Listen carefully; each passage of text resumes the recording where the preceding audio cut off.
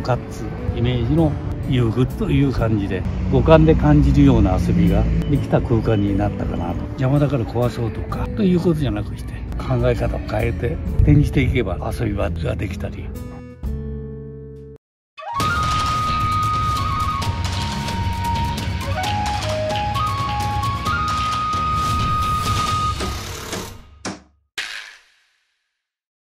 おはようございます。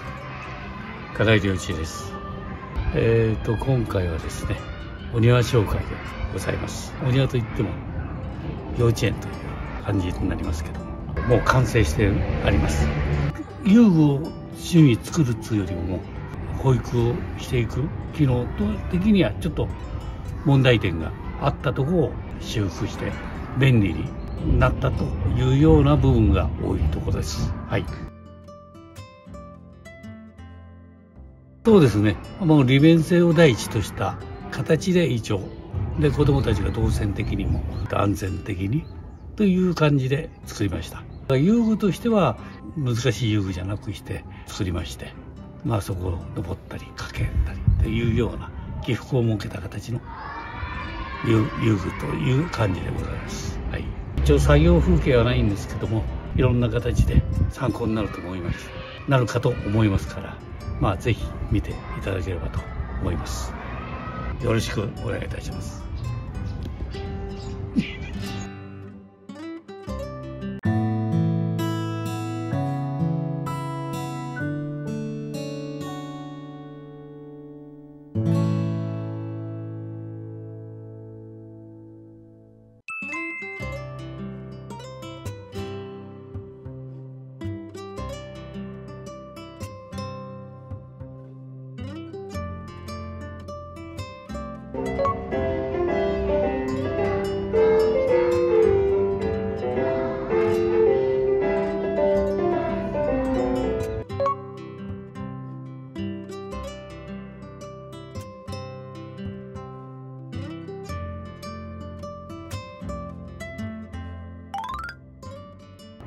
園庭はこっちでございます。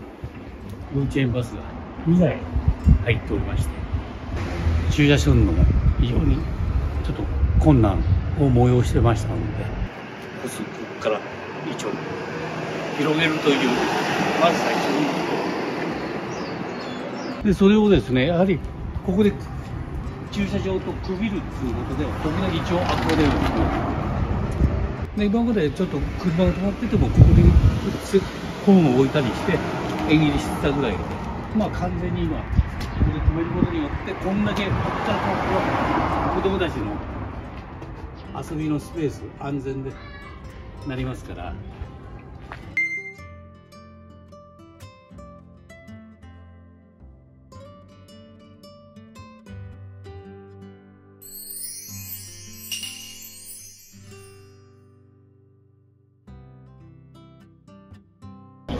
一応今生垣になってるんですけどこんだけ幅広く植木が出ておりまして。まあそれもちょっと駐車するのにも障害になっておりましてまあそれを一応全部撤去させていただきました。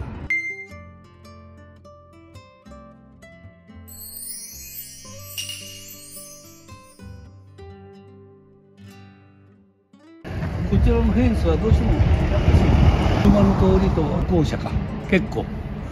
多いんで。まあやっぱし園庭内は直接見れないように形で目隠しフェンス。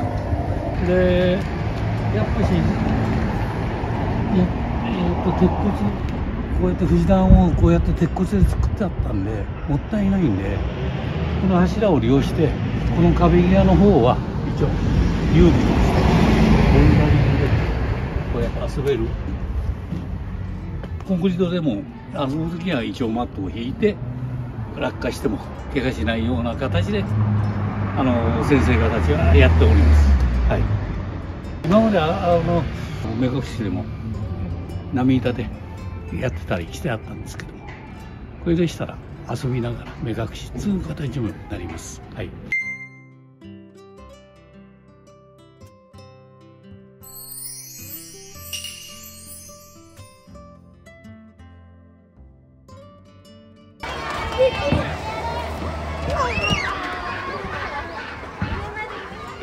でちょうど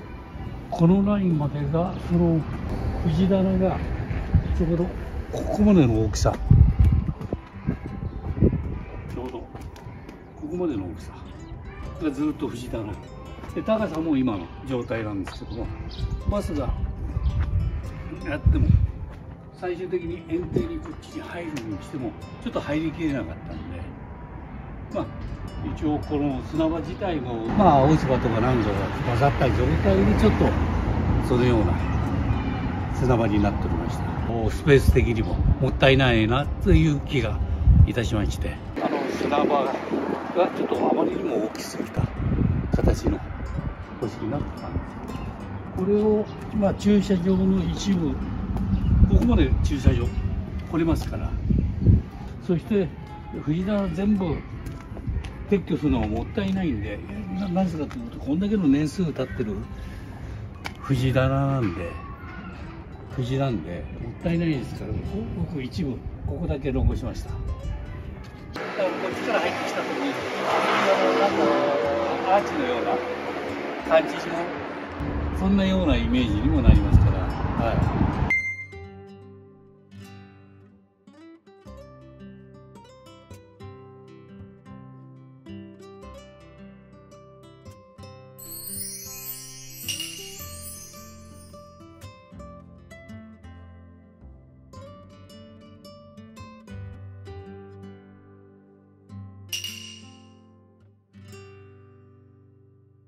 で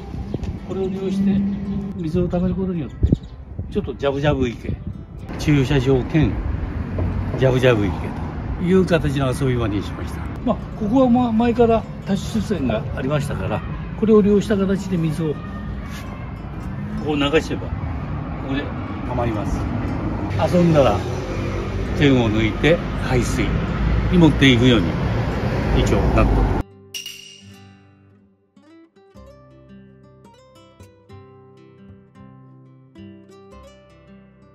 それでやっぱりちょっと植物なんかも花壇なんかも一応設けたいという形だったんでここから多子水線から枝を取りました形でここに多子水線を一つ設けました。ここにあれば水もやりやすいコーナーで、あのー、邪魔にもなんないかなということでこの位置に作りました。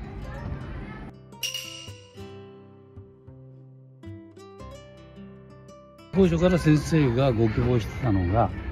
まあ、ここの翼幼稚園はあの平らだけな部分なんで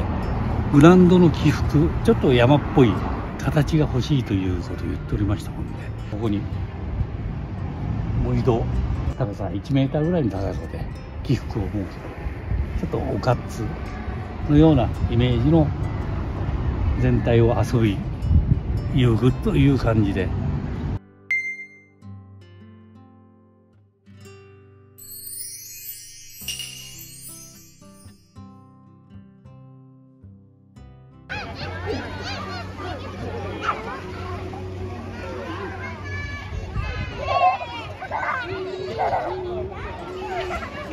あの最初にこう来た時に丸太のイメージが結構遊具があったんで、まあ、花壇なんかもほとんど丸太で一応囲いました。番組的な自然風な感じで一応あの据えてます。日当たりが非常にいいんでまあメインにこう月山の中にだんだん畑風のイメージで一応花壇を設けました。果実コーナーと柑橘コーナーとかまあ今まで鉢で植わってたやつを移し替えてでここはもう季節物の野菜畑にしたいという意味合いがあるみたいです。はい。そうですね。だからそうすれば水の管理あの植木に対しての水の管理はしやすいんで長いホースで一応今まであちらの方から引っ張ってきて、まあ、それで大変なんで今度ここでやれば短いコースでキビさんたちも一緒になってできるかなと思いました。はい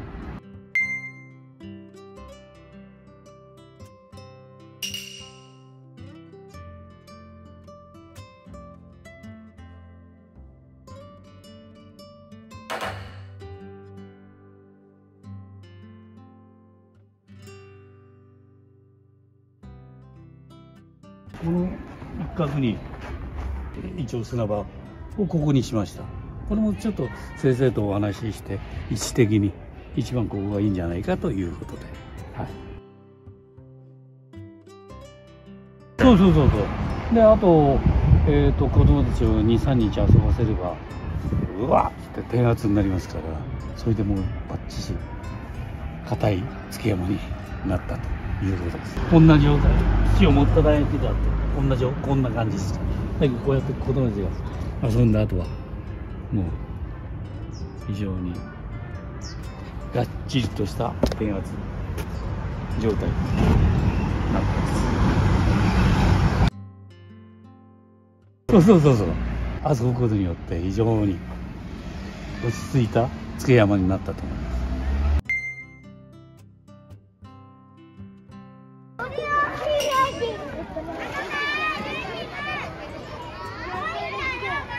これはちょっとあの子供たちが、ま、こっちでグラウンドで遊ぶんで、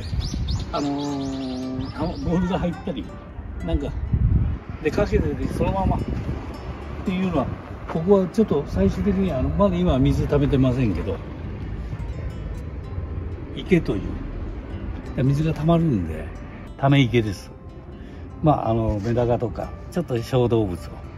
飼ったりするところですね。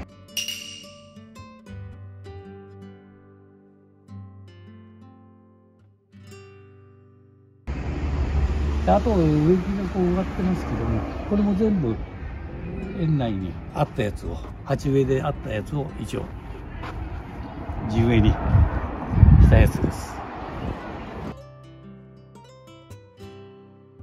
これトンネル巻きのトンネルぐらいです。と同じです。もう巻きで折り曲げてパイプでを作った。もう充営してありますからもう結構1年経てばそんだけ新芽が出て植木のトンネルになります。はい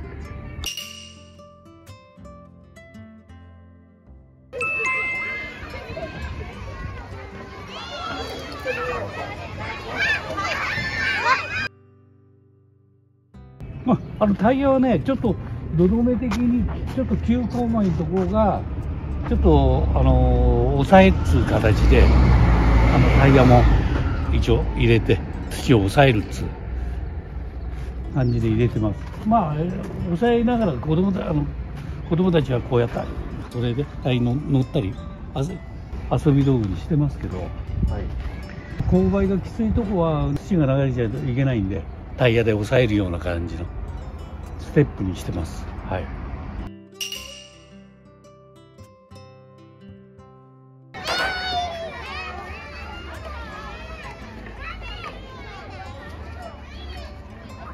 イメージがもう周りがもうこうやって生垣で